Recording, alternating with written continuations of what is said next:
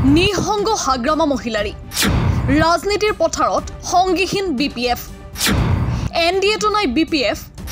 ইণ্ডিয়াটো নাই B P F.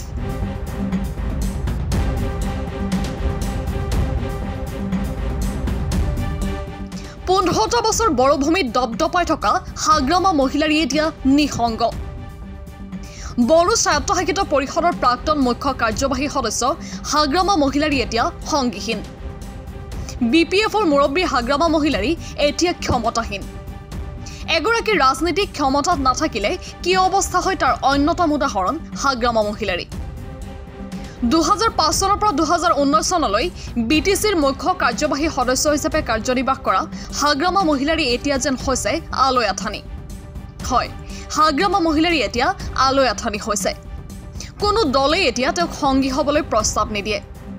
উল্লেখ্য B P এফে বি টি চি শাসন কৰি থকা সময়ত কংগ্ৰেছৰ সৈতে মিত্ৰতাত আছিল। কিন্তু দুহেজাৰ ষোল্ল চনত বিজেপি মিত্ৰজোঁটে দিছপুৰৰ মচনদ দখল কৰাৰ পাছতে বি পি এফ হৈ পৰে গেৰুৱা দলটোৰ সহযোগী। মিত্ৰজোঁটত থাকি শাসনৰ সোৱাদ লৈ থকাৰ সময়তে দুহেজাৰ বিছ চনৰ বি টি চি নিৰ্বাচনৰ প্ৰাক্ষণত দুয়োটা দল পৃথকে পৃথকে নিৰ্বাচনত অৱতীৰ্ণ হয়। এই নিৰ্বাচনৰ ফলাফলত বি পি এফে সংখ্যাগৰিষ্ঠতা লাভ কৰিছিল যদিও বিজেপিয়ে কুট কৌশলেৰে ইউ পি পি এলৰ লগত বি টি চি নিজৰ দখললৈ নিয়ে। সেই বি টি চিৰ এতিয়া মুখ্য কাৰ্যবাহী সদস্য হ'ল ইউ পি পি এলৰ অধ্যক্ষ তথা নিখিল বড়ো ছাত্ৰ সন্থাৰ প্ৰাক্তন সভাপতি Pramod Boro. BJP U P P এলৰ দখললৈ বি টি চি যোৱাৰ পাছত বিজেপিৰ সংঘাত বৃদ্ধি পায় হাগ্ৰামা মহিলাৰীৰ।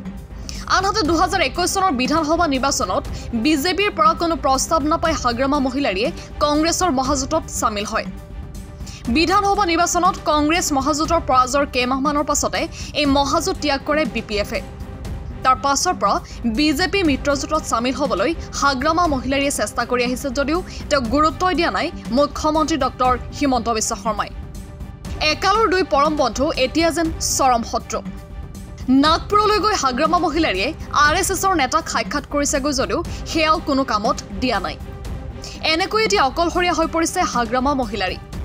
ইপিনে যোৱা সোম আৰু মঙলবাৰে বাংগালুৰুত বিৰোধী দলসমূহৰ ঐক্যমঞ্চৰ দ্বিতীয়খন বৈঠক অনুষ্ঠিত হয়। দেশৰ ছাব্বিছটা বিৰোধী দলে অংশগ্ৰহণ কৰা এই বৈঠকলৈ নিমন্ত্ৰণ নাপালে হাগ্ৰামা মহিলাৰীয়ে। বৈঠকৰ অন্তিম দিনা বিৰোধী মহাজোঁটৰ নাম ইণ্ডিয়া ৰখাৰ কথা ঘোষণা কৰা হয়। দুহেজাৰ চৌবিছ চনৰ লোকসভা নিৰ্বাচনৰ লক্ষ্যৰে গঠন কৰা এই ইণ্ডিয়া অৰ্থাৎ ইণ্ডিয়ান নেশ্যনেল ডেভেলপমেণ্টেল ইনক্লুচিভ এলায়েন্সতো নাই বি পি এফ। অকল ইমানেই নে মঙলবাৰে নতুন দিল্লীত বিজেপি নেতৃত্বাধীন এন ডি এৰ এখন বৈঠক অনুষ্ঠিত হয় যিখন বৈঠকত অংশগ্ৰহণ কৰে আঠত্ৰিছটা দলে। এই বৈঠকলৈ নিমন্ত্ৰণ নাপালে বি পি এফ তথা হাগ্ৰামা মহিলাৰীয়ে। এতিয়া B P F N D এটো নাই ইণ্ডিয়াটো নাই হাগ্ৰামা মহিলাৰী। ফলস্বৰূপে এতিয়া ৰাজনীতিৰ পথাৰত অকলশৰীয়া এসময়ৰ প্ৰবল ক্ষমতাশালী Hagrama Mohilary.